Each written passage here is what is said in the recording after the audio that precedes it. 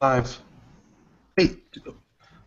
And we're live. All right, welcome everybody to the Juju Office Hours for March. What are Juju Office Hours? Office Hours like where we get together about once a month. It's like an open format where we talk about all the things that are happening in the Juju community, including our ecosystem. So we'll cover things that are coming in Juju Core, things that are coming in the Juju UI, CLI, and the Web UI. Uh, we start to talk about all the charms, all the cool new things that uh, the ecosystem team is building for everybody as far as uh, enabling you to build charms in a more reusable uh, fashion. So with that, we've got a ton of things lined up for you guys today. We're going to talk about the new JujuCharms.com, which went live yesterday. Everyone say yay. We got a new Juju 2.0 Beta 1 um, released. Uh, we've got a whole bunch of commands that we want to go over over with you guys because there's been a lot of refinement made to the CLI uh, commands, which I've been looking forward to a long time. We got the OpenStack guys here. Uh, they're going to talk a little bit about their charms, and then we're going to talk about events and things that are coming up and just general little tidbits here and there. So with that, if I could have everyone introduce yourselves. Um, Gilbert, you want to go first? I guess I'll go left to right. Yeah, hi. I'm, I'm Gilbert Standen. I'm uh, I've been an Oracle DBA for 20 years, but I'm doing some work now trying to develop charms to put Oracle natively on Ubuntu in LXC containers, but on Ubuntu OpenStack. I've already put it on Ubuntu. It's, now I'm moving it over to OpenStack. Awesome. James? Hey, so I'm uh, James Page. I work in the uh, OpenStack engineering team for Canonical, and I'm one of the primary authors of the OpenStack charms. Marco? Uh, Marco Ceppi. I work on the Juju Charm community team, the ecosystems team, uh, here to make sure developers have a fantastic time when writing charms. Rick? Hi, um, Rick Harding with Juju Engineering, and I'm here because I'm nosy and I want to hang out with you guys, talk about cool stuff. Awesome. Ryan? Hi, I'm Ryan Beisner on the OpenStack engineering team. I work with James and all these guys here to uh, help test all of the OpenStack charms and make sure that we have uh, as high a quality charm production as we can. All right, awesome. I guess we'll start with you today, Rick, um, because JujuCharms.com, and then I guess we'll all jump in, I guess. Yeah, so um, yeah, the team uh, UI engineering team had a release this week where they released a couple different components. The main visible piece being the JujuCharms.com website. Um, there are a few big targets. Uh, the first thing is kind of a polish point. We updated the Getting Started page uh, that you get to for new users. That hopefully they'll have a smoother experience when they get started with Juju and uh, get it installed and get their their first uh, models up and running. Um, the next thing they got going is this new uh, kind of idea of cards. Now we had we had looked at trying to make sure that we could embed. Um, you know, if you're looking at a charm or a bundle on Juju Charms, you can take that and embed it in like a Google or Twitter feed kind of card. What we've done is created these generic cards that resize based on however big that um, the space they're allotted, and these are really great for putting on like blog posts and uh, things that um, you may want to publicize or talk about your charm or bundle on your own website, but you get this nice consistent themed with the visualization and all that kind of stuff pulled out from the store.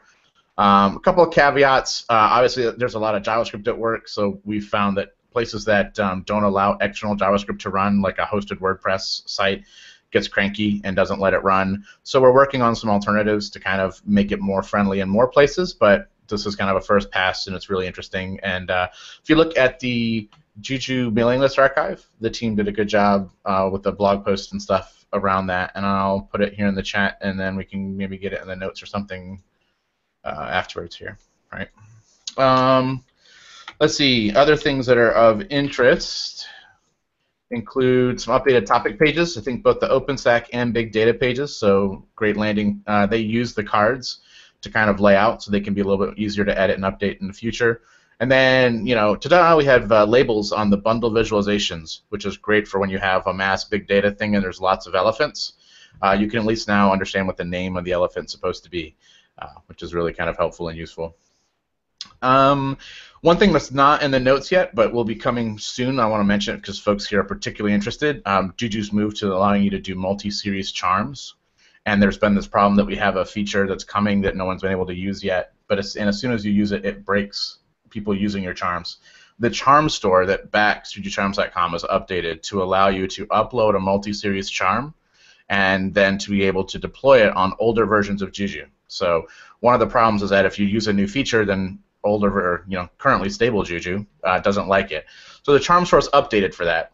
We've not been real public about it yet because the demo website, the Juju GUI that's on the demo, hasn't been updated to learn how to talk about multi-series charms. The code's landed, but it's not been released yet. So very shortly, and so folks who are interested in charming should really be looking at the multi-series charms work because it's the best of like forward compatible and backward compatible as we get these pieces landed and going together. Yeah, so I saw this discussion on the list, and it, it feels like um, I know some people, most notably Stub, have, have always kind of, you know, had one charm to rule them all for multiple Yeah. series. But at the same time, we also have a whole bunch of charms that were 1204 precise. Yep. So, so what happens? So what happens is, is basically um, We consider those basically feature complete. They're finished, you know, unless there's like a security yeah. issue well- or Well, I mean, what'll happen will be is that it's it's all based on who owns the charm, right? So Stub, for instance, if he's got in his URL space two versions of the charm, and he takes the newer one and declares in that series list that it supports the old series, it'll take over where the old one left off. So you can easily go from I had two charms to I'm only maintaining one now, but there's two different URLs. There's one for trusty and there's one for precise. And one charm that you you upload can support both, right? So um, it's just it, it should kind of roll forward kind of seamlessly, and it's up to you. If you say that it supports the old series, then you've told us that it will, right? So we trust you on that. Cool. Okay, yep, great. I'm just seeing if there's any questions in IRC on anything for Rick here. Um, There was one, but it was just a clarification of what that is hanging over your head in the side of your screen. It's a mic cover, not a vanity mirror. Oh Yeah. yeah. No, no, no. This is my yeah. This is my. there it is. I gotta go studio on you, right? So you know, a little. Sorry. Cl- Exactly. Clearly, he should be running the podcast, obviously.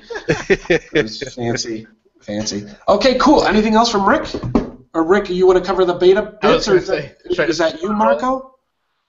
Marco can do beta stuff, sure. Oh yeah, I've actually got an environment stood up. Um, He allegedly has stuff running with the GUI Wow. and everything. Yes, it's I not like went, I last went week all all. in on this time. I, we had to redeem ourselves from our, our last office hour. So Yes. Yeah, it was entertaining to watch. I think everyone at home was shouting from home, "No!" don't do it. George will forever never listen to me when I say just deploy the GUI. But this is because of uh, so in there were some some login changes in the way that Alpha one and two compared to Beta one work. Um, the GUI teams released a beta, soon to be a full release of this. Uh, so I'm just going to share my entire screen. It's easier. Um, Yeah, well, while you're sharing that, I just want to mention to the audience there's literally three bugs left with the LXD provider that's blocking the next um, release of Juju. So we are so close to getting getting this all So, nice um, and tight. Yeah, so there's a couple of things that are cool. So I'm on uh, I'm on beta one, which is the latest released development version of Juju. It's in the beta PPA. Um, there are release notes in the mailing list archives about how to get a hold of this. There's a whole bunch of cool things coming in 2.0. Um, aside from a massive rename of commands, which we'll talk about in a minute. Um, this idea of controller and models, which we talked about a bit before, uh, allows you to really easily spin up separate kind of workspaces for doing deployments without having to spend a whole other controller node, a whole new Bootstrap node. So a few minutes ago, I went ahead and ran Juju Bootstrap. Um, the, name of the controller, in this case, I called it Office Hours. Um, I did it on AWS in US West 2. Um, and that command alone gave me the a Bootstrap a controller um, in the US West region for AWS's cloud uh, would allow me to interact with it. So a couple cool things as a result of this. There's no more environments.yaml. Uh, that is completely gone in beta 1. Uh, instead, now you have a list of clouds that are supported. Uh, in this case, it's the clouds and the regions for those clouds. Uh, in this release, there's AWS, Azure, Cloud Sigma, Google Joyent, Rackspace. Uh, LXD is also implicitly supported here, and a few others that are implicitly available. Um, and you also have a list of credentials, which is awesome. So instead of managing an entire swath of environments YAML, which has duplicated stanzas of all the data except for slightly different names, um, I, we are able to separate those two out in the upcoming Juju 2.0, and especially in Beta 1. As I understand, in Beta 2, this will be even easier to manage going forward. Um, so in AWS, I have two different type of credentials accounts. I've got one from the Charm Developer Program and one that's my own personal account. And I have a single account, a credential account in Google called Cloud Benchmarking. Um, so when I ran this bootstrap command, I got a bootstrap using my default credentials for Amazon, in this case my Cloud Developer uh, program. Um, which, by the way, if anyone's watching, if you're developing charms, uh, we will help hand you out credentials to a cloud to get you up and running and doing deployments uh, at developer.juju.solutions. Um, anyways, uh, when I do that, I get a I get a default model, um, and I'm able to do deployments into there. So I went ahead and deployed the Juju GUI um, from the latest development version of the Juju GUI charm, and this allows me to do interactions with that as I would here. So one thing I could do is list and create models, and the models is like a separate workspace for doing your deployments into. So I've created a bunch of test models earlier. Uh, the default one called Office Hours, the same name as the controller. Uh, this is kind of an administrative space where I deployed the GUI into and stuff. I created one called Workload, one called Test, and one called George Love ZFS. I could easily create an additional model from the command line using Juju Create uh, Model, um, or I could use the GUI, which is much more exciting. So I'm going to switch over to the GUI to kind of exemplify this example. Uh, so I have here um, the GUI. It's the 5227149.194. I've logged into it. I'm in the office hours um, model. I can switch between the list of models available. Uh, so I can go to workload, for example. Um, I can do a deployment here. Let's say like uh, do anything but WordPress, MongoDB. Um, add this to my canvas. Get uh, well. Let's just commit this. Automatically place. And if I go back to here, I can do Juju switch to this model. In this case, I'm in the workload model. Yep. Workload. Uh, and now if I do Juju status, I see that I've got a MongoDB being deployed. You notice here that there's only one machine, machine zero, assigned to MongoDB, so I don't have a separate controller spun up. It's just a, a, a way to do separation and segmentation of different models, essentially, all sharing that single controller, which is awesome. Uh, so back to the browser, I can switch between models. Like test, for instance, is, is, is empty. Um, Office Hours has the Juju GUI in it. Uh, and then workload again has MongoDB. And creating them is pretty easy to just create a single environment. For instance, uh, Juju 2.0. Um, new, and then you'll see that it's now created and listed. I can switch to it. I can deploy stuff into it. Uh, they're also pretty disposable. You can destroy them. They're really quick. They're really fast to spin up. Um, so instead of waiting for an entire bootstrap sequence, they're just easily there and available consumable. Yeah, if you Uh, think that's- about it, the, they're really set up to be uh, each model is basically a table in a database in a sense, right. So they're as fast to create as you could basically tell MySQL or Postgres to give me another table, and then you can start working inside that table as kind of a way to, to think about the models and the controller. Um, and one note I want to get ahead of um, in the beta 2 that'll drop very shortly, uh, the default model that you get when you first bootstrap will always be called admin. It's kind of the administrator model, and it's kind of special in the sense that you can't, uh, you know, you don't want to tear that one down or destroy it or mess with it because it affects the, you know, the controller as a whole. So right now it defaults to the name of the controller, but you'll notice that they'll all be called admin in the near future. So watch out for that. Yeah, just while I was learning how to do that, I noticed that um, in the admin, I tended to create a bunch of stuff, and then later I came out, I was like, ooh, actually, I wanted to leave that one empty Yes. and compartmentalize everything else. We're actually Yeah. doing doing two things. We're, one, we're renaming the default one always admin. We will Mhm. always put you in and create a second model called default. So as Perfect. soon as, That as, is soon as, wonderful. as soon as you bootstrap, you'll end up in a default model. So if you accidentally, like not accidentally, but if you just, hey, I just want to get to work, and then Yeah. realize, oh, I don't want it, what you can do is just remove the default model and create the next one that you want. Um, so we're trying very hard to make sure to encourage the best practice of the admin model is, is special admin and to, that you only do special admin stuff there and make sure users are set up to succeed on that path. That's, That's epic. That's fantastic. awesome. Yes. So I'm going to just deploy a bundle into here from the GUI. This is the real-time syslog analytics bundle the big data guys created um, into the Juju 20 2.0 model. So this will go and run, and I can switch and look at it. But also something that's coming in 2.0 is the native ability to deploy bundles from the command line, which we're all very excited for. So I'm going to, uh, what model am I in? Workload. I'm going to do a Juju deployment of a simple uh, MediaWiki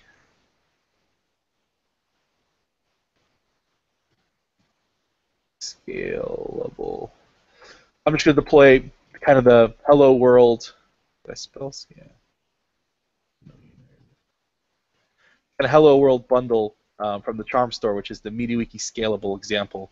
So if we go back to here, this is deploying big data stuff. Um, if I go to jujucharms.com slash media scalable, um, you'll see the bundle that I'm talking about here, which is just a couple of services. It's MySQL set up in a way that can be deployed and scaled. Uh, so I just typed in the URL from the Charm Store, MediaWiki Scalable, which is the bundle, not a, not an actual service, and Juju walks through and deploys that bundle. Um, so it's super cool to have this natively supported in Juju. Um, it's awesome to watch the output for, and it works fantastically. Um, and I can switch back over to the GUI. Um, oops, let's go here, back to my admin. So this is still deploying a bunch of stuff. Um, workload. If I switch over to this model, I'll see the MediaWiki stuff start spinning up um, alongside the MongoDB service, which just went into an errored state. Cool. I'll poke around with that in a minute. But it's cool. These are these are just a, a handful of the features that are in Beta One. Um, the release notes in the mail on the mail archive in the Juju list have much more um, complete example. Uh, updated and new providers are landing. Um, new features like these, an entire CLI rename. Uh, so I just want to highlight a couple of the cool ones, things like listing models, deploying bundles, uh, and show the GUI um, keeping up with the ferocious pace of the core team uh, to deliver these features side by side. Is there anything else that uh, what you guys think we should cover from the beta one release? Just wanna, I want to make sure that people know the release notes are long, and, and they are long because there's a lot of work in there, but they're invaluable. I have to say that um, because it's a beta and there's some stuff that's implemented and other parts aren't. So, for instance, the credentials.yaml stuff I know throws people off because there's this new file in a new location that technically, when 2.0 is ready, you should actually never have to go monkey with. There's a command line interface to add, remove, and change credentials. But until that interface is all done, you have to go manage that file manually, and so it causes some pain. So make sure to read the release notes, especially if you you know with some of that tricky stuff that's brand new and not in a fully completed state. You'll have a much better trying out 2.0 experience. Yes, it is. I mean, it is a bit long in the tooth, but it's a book worth reading. You know. uh, definitely is. I think the thing is, is it it's well broken down with a table of contents at the top of it. So the release team does a great job in making sure if you want to find something, if you just search for this string as an example, uh, it brings you to the LXD provider heading and gives you everything you need to know about getting started with LXD, for instance. Um, same with resources. Um, oh, I probably should go back to the table of contents, not just blindly search for things. Um, oh, it's called resources. Uh, resources, uh, new providers, uh, new changes. So we just went over a couple of things that have been in in alpha and beta for a while, things that are new in beta one, uh, but there is a whole host of things that are changing, um, and every release brings a whole suite of goodness uh, to the 2.0 experience. Awesome. And with that, let's uh, let's shift gears for a second. I, I want to get the OpenStack guys uh, out of the way. so they can get back to work. Um, and, then, and then we'll come back, and I'd, I'd like to dive deep after this on, on the changes in the syntax for 2.0 because a lot of those are really useful and stuff. But in the meantime, James and, and you guys want to take us through um, the upstreaming here of our terms? What exactly does that mean for me? Like, what's what's happening? Okay, so um, basically, if you're currently using the OpenStack charms, nothing changes. So they're still going to be distributed via the charm store. Uh, none of that stuff's going to going to alter in any way. What we've done is we've moved all of the development processes and, and code hosting around our charms um, out of uh, Bazaar branches in Launchpad um, into uh, Git with a Gerrit review system under the OpenStack project. So the scope of that migration is about 23 charms, uh, most of the core OpenStack charms, and a few few things that the OpenStack Charmers team are maintaining alongside them. Um, and uh, they all moved up um, under the OpenStack project early on Tuesday morning, and uh, we've been um, migrating all of our CI processes over to make sure you still get the same level of uh, amulet testing and feedback on any proposed changes that we've had in, in place for a long time now in, in Launchpad. That's running pretty smoothly now. We've got we've got kind of got the interaction between Gerrit and the CI system working quite nicely. Um, we've landed quite a few changes already this week, so it's uh, it's it's been a, a relatively seamless migration. Um, if you happen to be using Bazaar branches on Launchpad for, for any number of reasons. Um, and people have had quite a few. Uh, we're reverse mirroring all of the Git repositories back into Bazaar branches um, to support two things. A, a, those people that are still using Bazaar branches for, for deployment directly, and B, to support charm store ingestion. That's obviously going to be replaced by some of the new features that are coming along with Juju 2.0 and uh, with the new version of the charm store for publishing as well. Wow, so really for most people, they they they see no change at all. And for developers who are used to working with OpenStack, it's going to be where all the stuff for OpenStack Absolutely, it's going to be a very familiar development workflow in that you clone the Git repository, create a branch with your feature in it, and type Git review, and it puts it all in the right place and starts the right process off. It's uh, it's a very familiar process for anybody who's done any any OpenStack development. So we're kind of kind of in the right place with the right people now from a development workflow perspective, and hopefully it's going to get us a, a, a, little bit more accessible to the wider OpenStack development community than we have been in the past. So. Mm, excellent. And then I got a few questions for you outside outside of that. The um, so in at FOSDEM you showed a really nice bundle of everything running on your laptop, like a real OpenStack in containers and what. Can you give me kind of the TLDR on, uh, you know, with release happening in April? You know, like what's happening over the next two months. Kind of give us, you know, give us a two-minute summary of what people can expect over the next few months as far as the release goes. When can we have all these bundles? What are you got any other goodies planned for us? So um, the development versions of the charms, so not the released versions, uh, the development versions have support for both Xenial and for the Mitaka OpenStack release. Mm-hmm. Um, I I got a couple of changes in flight to fix up mm, Ceilometer and image notification. Very boring stuff, but it's uh, a couple of you know there's going to be a few rough edges as we as we go through the last six six eight weeks of development on the charm set alongside the the Ubuntu and OpenStack releases. So that that's pretty consumable now. So if you want to try Xenial with OpenStack, use the next next the next charms from OpenStack Charmers Next on Charm Store. So there's a team on there you can you can pick charms from for any supported Ubuntu release, for any supported OpenStack release on top of that.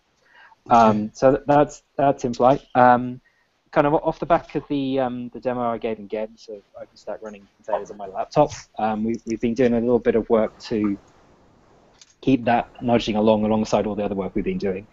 Um, the, the Xenial kernel now has the, the right bits in it to uh, allow us to potentially do the whole thing in unprivileged containers because uh, I was running the whole thing as root containers before. So Open vSwitch in unprivileged containers was a bit of a bit of a bit of a no-go, but uh, um, one of the guys on the LXD team contributed a patch upstream into Linux kernel, which has been accepted, which we backported to the 4.4 kernel we've got for Xenial. So I've yet to retest this because it's all pretty fresh, um, and and with the with, with the uh, the kind of mix and match on LXD and, and Juju two zeros, um, I, I've just put it to one side for the moment, but uh, hopefully next week I'll be able to pick that up again and do a bit of testing around that. So if you want to try that, um, I've got a branch somewhere with a bundle in it, and uh, but all the charm changes are, are done. Uh, you'll need to be deploying Mitaka on top of Xenial, and that should work pretty well. Yeah, I, I have a feeling. I mean, once once these Lexi Juju issues are ironed out, that's like the first bundle I'm going to try. And I think if we can get with Mintaka, you know, everybody up. right around April in Lexi containers, the world will be just such a better place. it, it uh, generates a lot of I/O. I mean, if you can imagine deploying, you know, it's like I think the bundle is 18 containers. It generates lots of I/O, so an SSD uh-huh. is really important. Um, right. I've, I've, been using it with the ZFS backend for LXD, which has been pretty quick, especially on initial con- container creation. Mm-hmm. Um, and it and it, it will make your processor run hot for a while, but then it's installed yeah. and it and it doesn't. It's like post install, it it's it, it idles pretty pretty pretty pretty low to be honest. So. Yeah. So All right, that's really great. Beezer, you got anything to add? He's been adding the notes into our notes document, and we'll make sure that we uh, we publish these notes so you guys have the link to the OpenStack uh, next charms and, and links to all the upstream OpenStack goodness. So with that, you guys got anything else? We can let you get back to work there while we talk about Juju 2.0 CLI bits.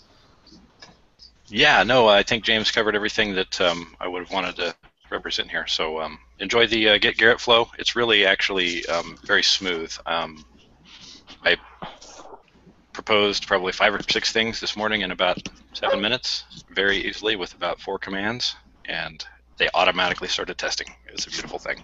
So, That's awesome. guys.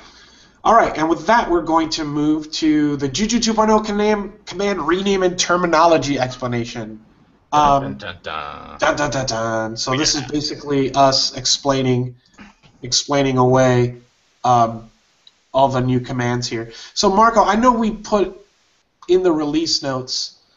Um, Curtis has been putting in equivalent commands, right? Like the old command, and then here's the new command. Yes. Um, you want to run? Do we want to run through these real quick then? well, I think it's I think it's worth I think it's worth Or- having people people should go run through the release notes to look at all of Yeah. them. We could probably spend five minutes shouting a bunch of random commands, but I think the important thing to take away is that Mhm. um, the new format. uh, Rick, if you want to explain briefly. Yeah, I, if I can go a little bit into like kind of the thought, just to get everyone on the same page about how to think about things, right? Is Yeah, um, the philosophy. Um, what- yeah, exactly. That way, if, if you're looking for something, you kind of understand where to look for it and why it might work the way, even though it may not seem obvious at first or whatnot, right? And so, what we really did with the chance to do a 2.0 is, you know, there's a lot of teams that work on Juju, and they go in and they, they add commands. And what's really fun is you get um, different teams from different countries. So, like, we had some real fun where we had like authorized spelled like the UK way and the US way and all that kind of fun. Um, but what we wanted to try to do is to set like a just a general rule of thumb by creating an actual like dictionary of um, of Juju terminology um, that we stick to. So we went through all the commands that we had. Anywhere we had a hyphen, we broke it into a unique word, and then we figured out what words mean about the same thing. So you know, is destroy, remove, and delete. You know, which of these are worth keeping, and which one is close enough to the other. So remove and delete were considered close enough, so we have no longer have a delete anything. It's always remove, right? uh, terminate again, terminate, destroy, right? You're like, there's a lot of words that all mean the same thing that we're kind of hurting uh, figuring out what the right command to use was. So we cleaned up all the nouns, all the verbs. We kind of really broke it down at that level. And then we said, all right, the, the rule of thumb is everything is going to be verb noun. So you act upon something, and the nouns in the system are things like units and, and uh, you know, units, machines, uh, containers, uh, controllers, models. And anywhere you have a noun, you should be expect to be able to list that noun, right? So you'll see list controllers and list models and list clouds. It's because it's that very consistent lists anything in a noun, you know, context. You should be able to list that out. And then we have some new rules like sometimes we had kind of a format output one way and sometimes the other way. So the new rules, it's always got to be tabular output by default because that's an end user and you should always be able to then have a you know format equals YAML or JSON to get something for your scripting or machine readable or more details kind of view, right? So we get very opinionated on the default output, but then we try to not be opinionated and give you all the all the data we can try to do on the other formats because they're more for machine reading and it's you're not expecting it to be very scrollable and stuff at that time. So with that all being said, we actually have you know we went through all the commands.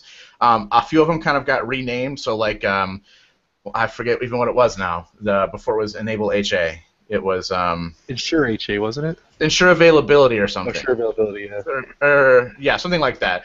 Um, and so we wanted to very kind of make everything more active. Like you're going to enable HA mode uh, rather than you know ensure availability was a little fuzzy and, and not quite as clear. Right, because why wouldn't you want that?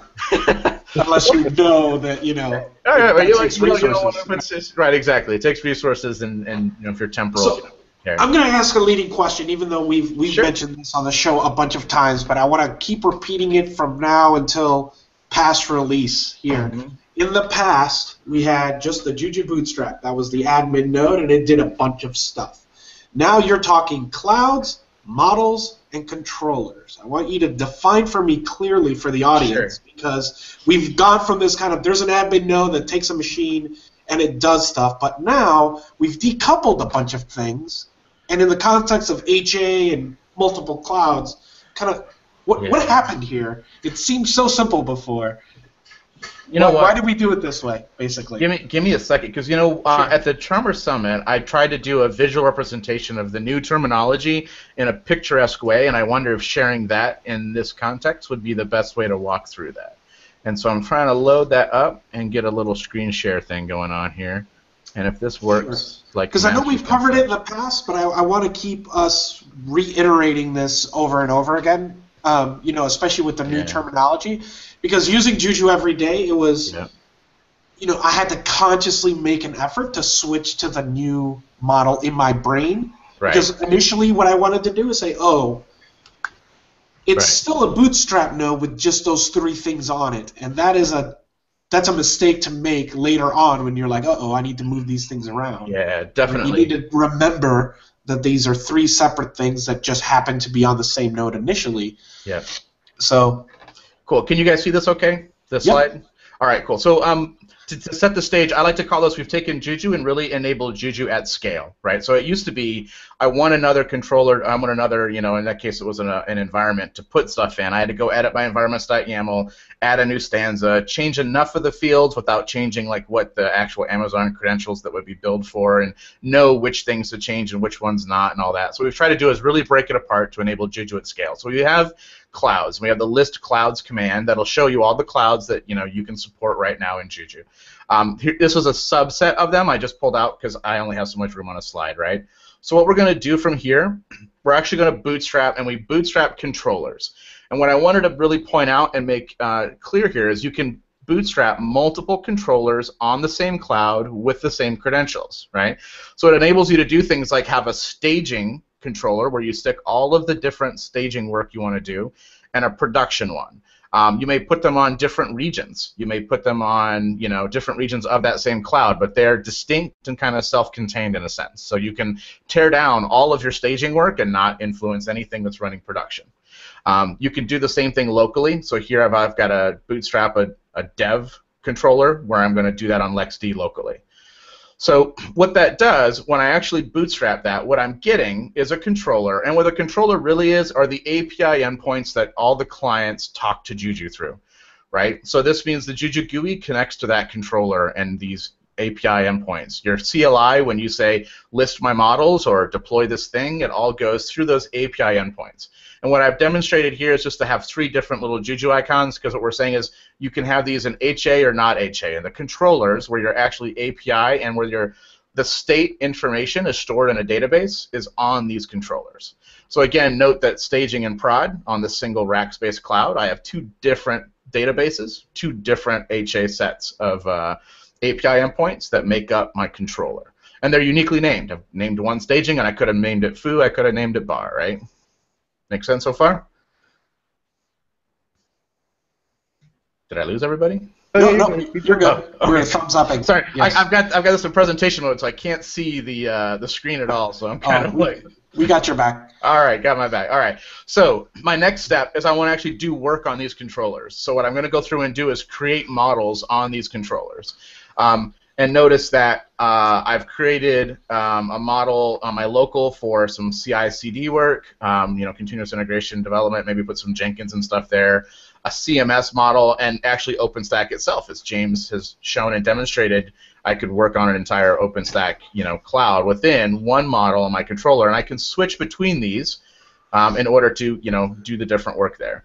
Um, I can create the model um, in staging and production, and I can even do stuff like use different credentials. So maybe on staging, I want to bill, um, as Marco demonstrated, I want to build this work to my cloud, uh, my de- charm development credentials, but on another model, I want to bill it to my personal stuff because it's going to be my personal blog or something.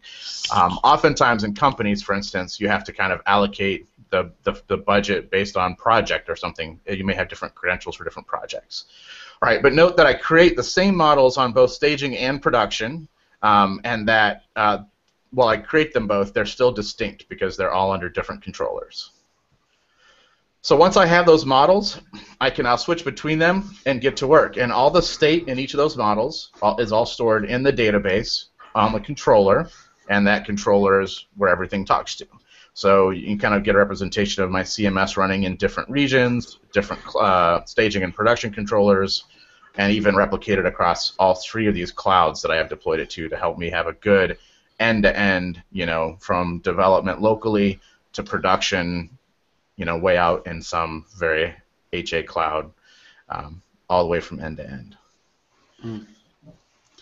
Like Marco and I just talking in chat that this slide should be like this is the exact slide we need in the docs. Um, in the introductory part, I'll, I'll, work with you on getting those. Yeah, sure. I mean, this I, kind of gives you a top level down, right? Exactly. Right. We want to take it one step at a time and explain why we have these different. What's not 100% clear in here is like where the credentials fit in. Again, you're kind of limited by the, the space of, of, of that. But notice that I could have, again, you know, bootstrap staging and prod, or actually any of the models could be under a different credential. And so the right. reason we've killed that environments.yaml is to let you have this truly scalable Juju, you know, workflow that was just a pain to try to, to replicate this before. Too hard. No one would do it. Right. Right. And and the reason I, I wanted you to reiterate that, just like when I was creating my first, I started deploying my first things and I realized I was putting that in the admin model, right? Mm-hmm. Usually you want, I guess what I'm trying to say is you want to kind of visualize, okay, I've got these clouds, right? This is my local, this is my stuff. Where do I need controllers? But you have to think about, you know, what environment you're going to have. Whereas before, I kind of just started spinning up stuff, and I was like, I painted myself in a corner. I guess is what I wanted to yeah. say. Right? And it was like, oh, if I would have understood that, you know, I needed a controller over here, a controller over here on these clouds, and then the models goes underneath. You know, I was kind of just yeah. dumping everything in one big box instead of thinking out logically. Um, you know how that matches what I was trying to get to, right? right. What the final model looked like. So and to be fair, we let you, to be fair, we let you down there though. Like we we recognize that. That's why the changes I mentioned in beta two, right. with the default admin model and the default model um, automatically again to help you set up to think this way to help you think that I can have more than one whereas before I couldn't it's something new we want to make sure everyone sees right out of the gate that there will always be two models every time you bootstrap right? Right because so, it, it feels now that now that the cost of making a model is so cheap. Exactly. Compared to before right? You had to have a bootstrap an old bootstrap node with every single model that you had and that got horrible quickly.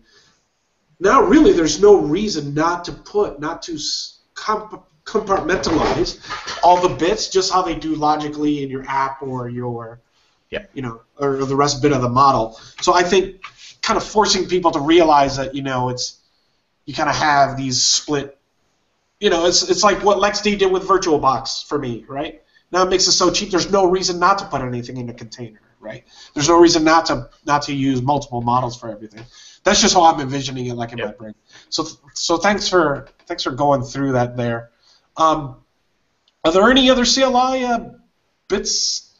I mean, that to me that feels like that's the fundamental change that I think people have to understand. Yeah. Um, the rest is pretty much, oh, it's really nice that you know the CLI actually does this does this now. Yeah, uh, the only thing I'll say on that is just hold tight with us. We know that they're still missing pieces. Um, you know, the team the team is just working beyond above and beyond right now uh, to help bring all the because these changes are really really good and they and they're taking time to get in.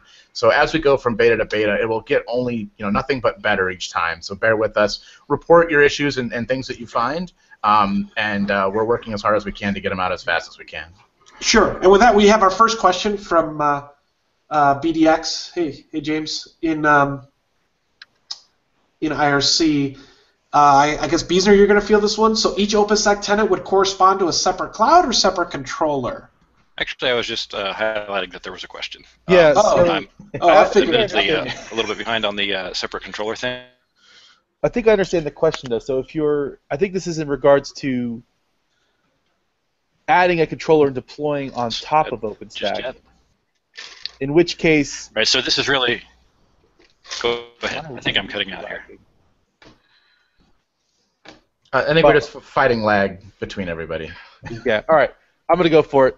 Go um, the way I think this is working is that for for deploying on top of OpenStack. Um, so if when I ran the list cloud earlier, OpenStack wasn't listed, but OpenStack is a valid type of terminology is list clouds. It's a it's a valid type that you can make a cloud out of. So Um, with Juju, you're allowed to add custom cloud types. So things like MAAS and OpenStack, you just put a, a real lightweight. Here are the values for this OpenStack cloud, and they map to an OpenStack type in Juju. So you could define all these clouds, and then in which case you could just say, all right, put a controller on my OpenStack cloud, uh, and then you could start creating models and spread tenants in OpenStack in those models, uh, and same separation as you would a public cloud.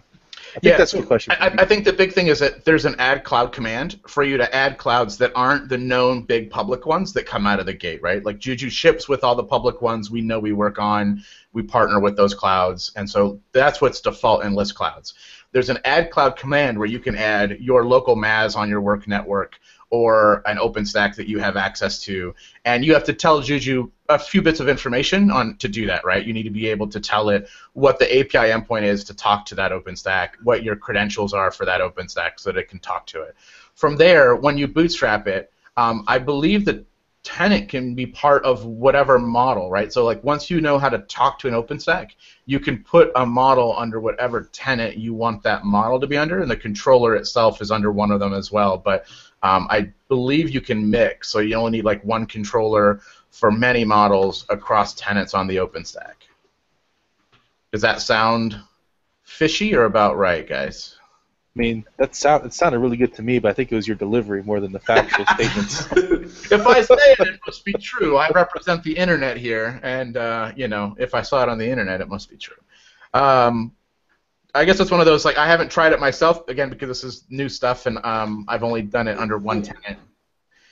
I feel that this is one of those like refer- reference implementation things, right? Where it was like, if I have a setup with you know X amount of machines, I want to make one cloud. What is the best practice for making a dev, staging, production bits? What controllers are where? Like, I just get the feeling that that slide that that, that was like your opinionated way of doing like Yeah. a Jenkins blah blah blah blah blah. I get the feeling that different deployments will have different opinions on that, and Oh, then that, people will- that will yeah. be an area where people make really strong Yeah, you know, people, choices. People, people will do what they, uh, what, what, you know, they'll, they'll determine their own kind of standard operating procedures with the tools they're given, right? Like it's, Mhm. uh, you give them the tools and then you just wait and see what they do with it. Um, so it'll be interesting. Uh, I, uh, Chuck's got a question He does. about, about other other clouds. Um, now, what you can stick in clouds when when you add a cloud, it has to be something that Juju has what we call a provider for, where Juju understands how to talk to the API that that cloud provides. So, for instance, right now, DigitalOcean's not a supported partnered cloud that has a provider. There's some tools that work around it using the manual provider, um, and I think you might. I'll have to investigate what you can do with the manual provider as far as list clouds because it's kind of a odd one to because you can't bootstrap to it more than once. You know what I mean? Like if you set up a manual provider, you've you've already bootstrapped. So the whole point of the clouds and the list clouds is that you can bootstrap to it many, many, many, many times. You know, because it just creates a new named controller on that cloud. So that one's going to fall into a fuzzy space. Um, Chuck. I also had a question about LXD in this case. Mhm. Yes, Uh, that's what I was going to say. so- Could you LXD everywhere? Yeah, so if is there a is LXD a provider to the point where I have a bunch of servers running LXD hosts now, which I'd Yeah. like to add as clouds basically. Um, Yes, is that possible, or will that be possible in 2.0? It, it, it will be possible. It won't be possible directly in 2.0. Um, what we've done in 2.0 is enable LexD as a local provider so that you can have it as a local cloud on your system, and all that stuff works and tested, and we're working on that, right? What we've what almost works, but there's a couple of bits that need updating in Juju is because of the way it's structured, you can point Juju at a remote LXD uh, API endpoint, but because we've not done all the testing and all the stuff to make that work, there's a there's like I think there's like two pitfalls people that have tried it have fallen into so far. So what we want to do after 2.0, because I mean there's a lot going in and there's just not a lot of room to be honest about doing extra stuff. The next iteration we will completely want to make sure to support that, where you can have remote LXD as a remote cloud in your list cloud. So you'd be able to add your you know LXD on your desktop at home as a cloud on your laptop, so that you can bootstrap to it. it can, as long as it can reach your laptop, your desktop at home, it'll be able to bootstrap onto it, give you a controller, create models. That's exactly what I wanted to do. So we're gonna get there. I, everyone wants to get there. You're gonna have to give us a little time. Yeah, 2.1. Cool. I just wanted. I figured I'd ask a leading question. Yeah, I know folks have tried it because we, we yeah, and, and they have they have hit a, a roadblock in I think two different places that we have to go fix. So Right. Because on one hand, it's really nice that we leverage the specific cloud and those cloud-specific features, but on the other hand, it's all really nice to say there's a generic LXD somewhere. Use it to the best of your ability. Yep, Oh. and I've got a question here from Magic, and I got truncated. Magical Trout in IRC, who is Ooh. asking about can you Oh. add regions and make it pluggable for that cloud metadata? Um, what we actually have is that file exists locally, and you can edit that file at any point in time. The other thing we have is there's a new update clouds command, which will actually, if we want to update a new region, we can edit a file remotely and then just tell you to go run update clouds, and it'll fetch the latest list of public clouds with their regions and everything that's supported. So Right. we'll make it Because in the past, We had to yeah, distribute a new Juju. We you don't had to just release a new Juju, and Right. you're like, oh, dude, all I want is right. use cardinal direction data center supported, man. Yeah, we, we totally don't want to make you uh, uh, have to get a new release of Juju just for a new region. So the update clouds is a way of managing that. That's that's a good idea. Whoever did that. Uh, yep, one other question with the status of LXD network spaces. I see James is jumping on it. Um, the team is working on what's really needed for that's what we call multi-NIC support, where um, we can support multiple network interfaces to make that work. When you create containers, you basically need virtual interfaces across the thing. The team's working on that. That should be in for 2.0. Um, hopefully, I don't know if I don't think it's going to make the beta 2 this week, but there, you know, you should see it coming shortly. Um, the team's actively working on it for sure. Cool. Whew. Any other questions? Woo! It's awesome stuff, man. I tell you what. You, you haven't left any time for the big data guys. So Well, I'm sorry. I bow. it's, it's just too too too too much good stuff this month. I mean, it literally like I'm aching it. I'm like checking my PPA every day for Juju, the new. So The we got new about beta. 10 minutes. You, big Yeah. data. You guys want three minutes to talk about big data stuff? Uh, it won't take three minutes, but yeah, we can talk a little Yeah, what do you guys it. got going on this week? Uh, so our biggest push since the last time we've met uh, for office hours was um, a, a rework of our core charms into layered uh, charms.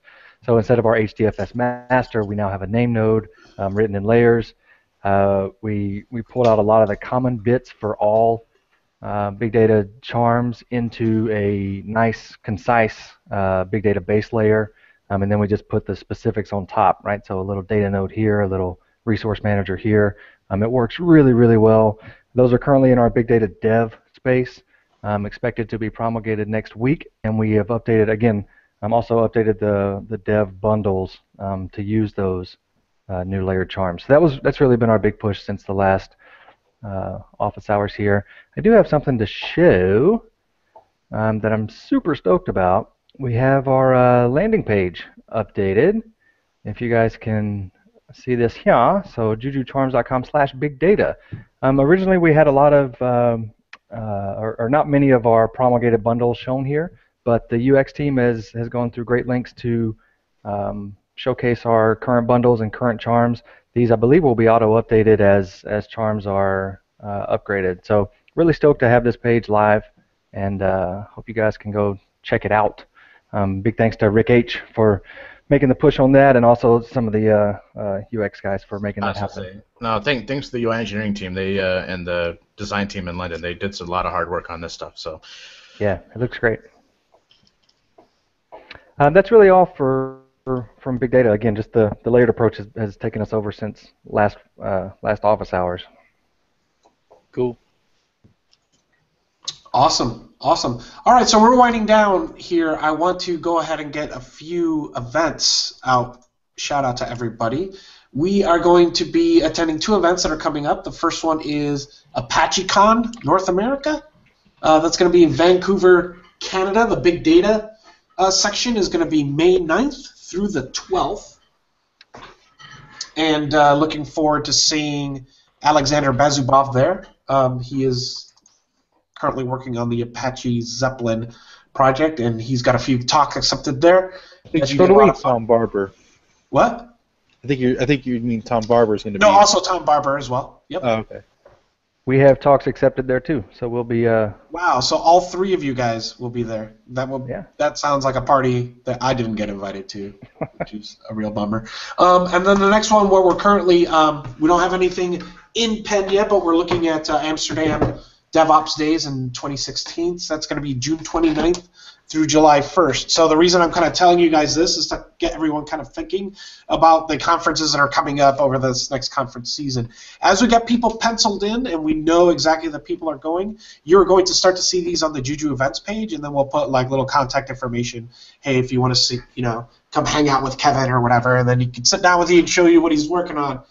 Uh, so that sort of thing. With that, the only little piece of administrative uh, thing left to do is to pick a date for the next one of these office hours. So I'm currently looking at April, and I am kind of eyeballing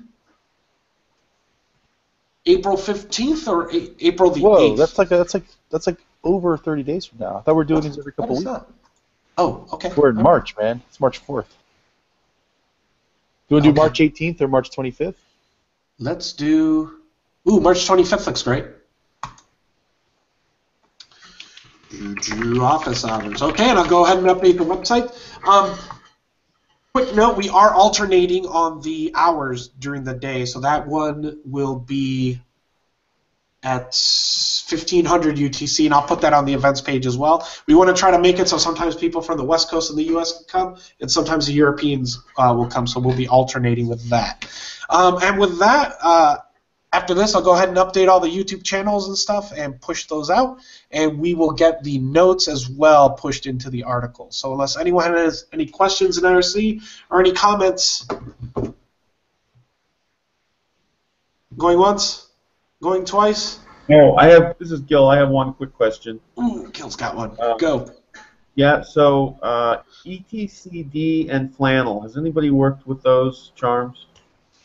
Huh? You happen to be in luck, Gilbert. Uh, we just finished a rewrite of etcd to layers, um, and flannel hasn't been touched on a bit, but uh, updating it will be fairly straightforward. Uh, what specific questions did you have? So I, I have two additional available physical nodes, and I want to play with uh, etcd and flannel. Can I put etcd and the first flannel on the same physical node, and then put the second flannel unit on the other node? Oh, you betcha. Okay, great. That's all I wanted to check before I deployed it. Yeah. All right, cool. Um, if you have any further questions, feel free to ping me in IRC. Sure I'm will. Lazy Power. That was that was like the easiest. You just got off scot free, Chuck. I know, right? You can. I love questions like that. Next question. All right.